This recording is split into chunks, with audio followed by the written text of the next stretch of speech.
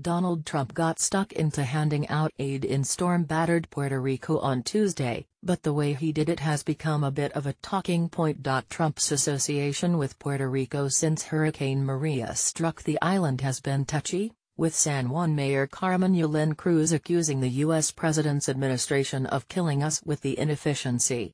But during a short visit to the U.S. territory things seemed remarkably cordial with Trump lobbing out paper towels to a crowd of around 200, and declaring there was a lot of love in this room, a lot of love. Great people.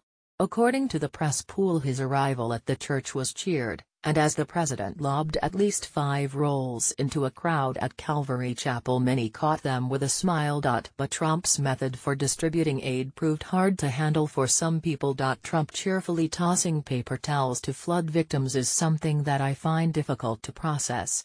Would love to hear your comments, Carl Reiner, at Carl Reiner October 3, 2017 Pool, then in his best Stephen Curry impersonation, Trump held up his arm, and softly shot paper towels into the crowd, which they enjoyed.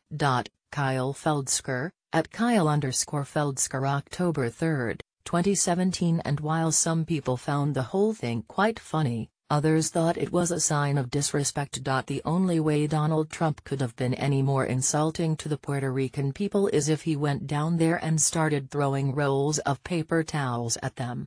So that's exactly what he did today. During his time on the island Trump met first responders and local officials, and also visited the homes of pre-selected families.